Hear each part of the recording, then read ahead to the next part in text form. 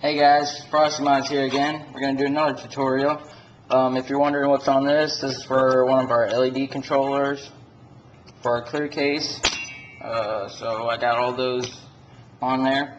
Alright, we're going to do a drop shot button and a reload mod today. Basically what you're going to do is you're going to take this, find your point, my point's right there, what I want, and then you're going to take I got ruby fluid, soldering tux, uh, flux. Um, you're gonna get a Q-tip. You want a Q-tip out so you're not getting it everywhere. Open it up. Don't breathe this stuff in. It is toxic and very harmful. I would not get this on you because it will hurt. Probably will suck pretty bad too. Alright, set that off to the side. Basically you're going to take this after you, so I got my flux ready.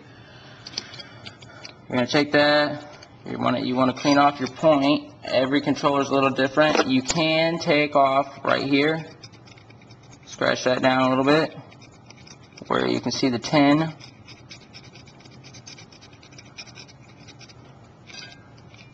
Got that down too.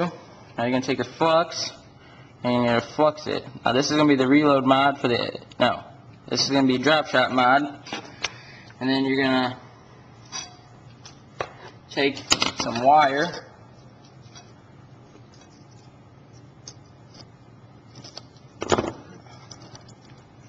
Here's one I already did. Now I don't really recommend using like this. I'd rather hook it up to where the B, B button goes. I already started getting the reload mod done. Uh, this is not a good version of it. We at Frost Mods offer a better reload mod with the chip and it works a lot better.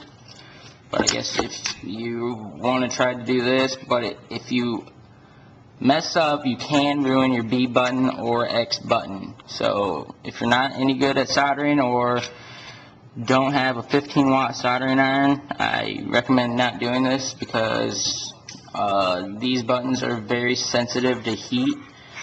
I'm using a 15 watt, uh, 300 degrees. Um, probably the max out you want to do on it, um, unless you have an adjustable soldering iron.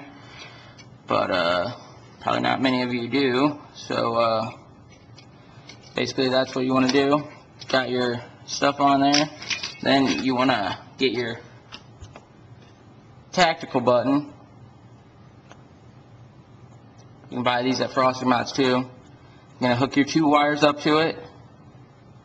And then you're going to drill yourself a hole so that you can put your tactical switch in it. You're going to glue it down with hot glue. Don't use super glue because it'll fuck it up. But uh, yeah, that's pretty much it. When you're done with that, you're pretty much done. Alright. It's another Frosty Mods tutorial. Thanks, guys.